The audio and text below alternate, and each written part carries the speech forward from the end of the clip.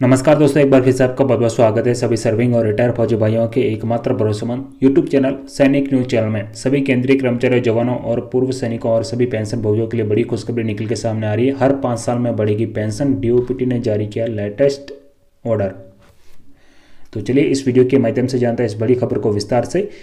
इससे पहले अगर आप इस चैनल पर पहली बार विज़िट करें तो चैनल को सब्सक्राइब करके बेल आइकन को ज़रूर दबा दें, ताकि आने वाले हर छोटी से लेकर बड़ी खबर आपको हमेशा मिलती रहेगी। दोस्तों, जैसा कि आप अपनी स्क्रीन पर देख सकते हैं, मोस्ट इमीडिएट पार्लियामेंट मैटर को लेकर भारत सरकार, कार्मिक, लोक शिकायत, पेंशन मंत्रालय, पेंशन और पेंशन भोगी कल्याण विभाग की तरफ़ से ये लेटेस्ट लेटर जारी किया गया है 20 जनवरी 2022 को। और सब्जेक्ट में आप देख सकते हैं, parliamentary standing committee one hundred report of additional quantum of pension on attaining the age of 65 years 70 years, and 75 years under the CCS pension rules regarding. जी हाँ दोस्तों CCS पेंशन रूल के तहत जो एडिशनल पेंशन के संदर्भ में जो संसदीय कमेटी की जो 110वीं रिपोर्ट है, उसी के संदर्भ में ये लेटर जारी किया गया है। तो इसमें बताया गया कि डिपार्टमेंट से संबंधित जो कार्मिक लोक शिकायत कानून और न्याय संबंधी संसदीय कमेटी थी और अन्य बातों के साथ साथ पेंशन भोगियों और जो फैमिली पेंशनर्स भोगी हैं, उनकी पेंशन की जो एडिशनल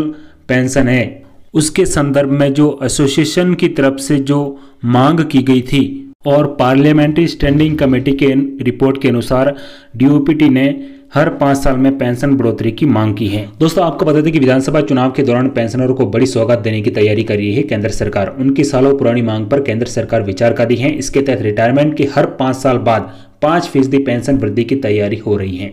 अभी तक सेवानिवृत्ति के बाद पेंशन वृद्धि अस्सी साल की उम्र के बाद होती रही है, लेकिन अब इस फैसले को बदलने की कवायद तेज शुरू हो गई है।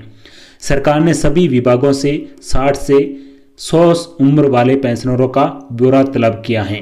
जैसा कि आप अपनी स्क्रीन पे देख सकते हैं, भारत सरकार के डीओपीटी और पेंशन मंत्रालय ने सभी केंद्रीय विभागों को लोकसभा स्टैंडिंग कमेटी की 110वीं रिपोर्ट का हवाला देकर कहा है कि पेंशनर्स एसोसिएशनों की हर पाँच साल पर पेंशन वृद्धि की मांग पर विचार करने की सिफारिश की है। इसीलिए पेंशन और फैमिली पेंशनर्स में हर पाँच साल बाद पाँच और दस और पंद्रह फ़ीसदी की वृद्धि के जो ब्यौरा हैं, वो बनाया जाए। यानी कि जो पेंशन भोगियों को जो एडिशनल पेंशन 80 साल की उम्र में शुरू की जाती हैं, उसे अब पैंसठ साल में शुरू किए जाने की सिफारिश की गई है। तो दोस्तों, सरकार की तरफ़ से इस सिफारिश को अगर लागू कर दिया जाता है तो हमारे सभी पेंशन भोगियों और फैमिली पेंशनर्स को बड़ी खुशखबरी मिल सकती है। तो ये थी एक लेटेस्ट खबर वीडियो को लाइक कीजिए शेयर कीजिए, इसी के साथ जय हिंद, जय भारत।